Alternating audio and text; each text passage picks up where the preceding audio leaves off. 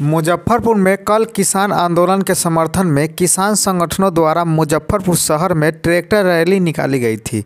वही tractor rally से लौट रहे नेताओं पर हमले का आरोप लगाते हुए बुधवार को अखिल भारतीय खेत मजदूर संघ के द्वारा खुदीराम स्मारक स्थल से लेकर जिला अधिकारी कार्यालय तक विरोध जुलूस निकाला गया और हमले करने वाले अपराधियों के गिरफ्तारी की मांग की गई है।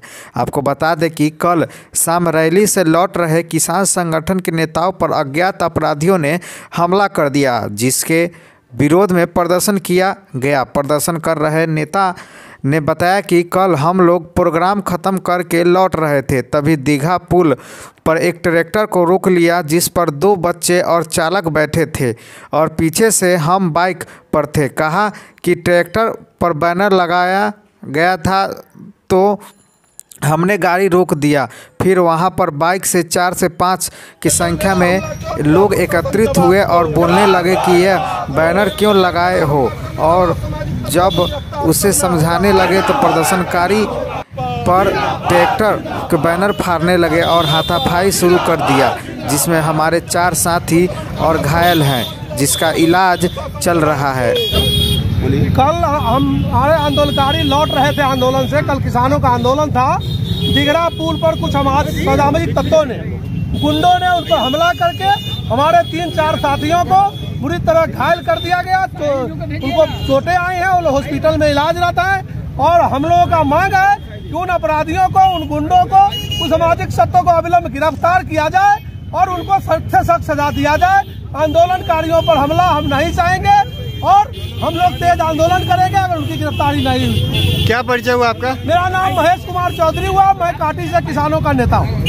क्या हुआ था आपके साथ? हम लोग यहाँ प्रोग्राम खत्म हुआ, उसके बाद यहाँ से हम लोग हाईवे पकड़ने की कोशिश किए और प्रोग्राम खत्म होने के बाद बारी बारी से लोग जाना शुरू कर दिए।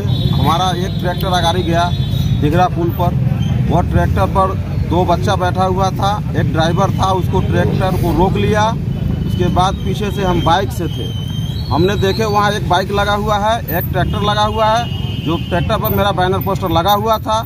वहाँ हम देखे जो शायद कुछ हो गया क्या कोई लफड़ा? तो हमने वहाँ रुका। वहाँ वो चार आदमी वो शख्स था वहाँ।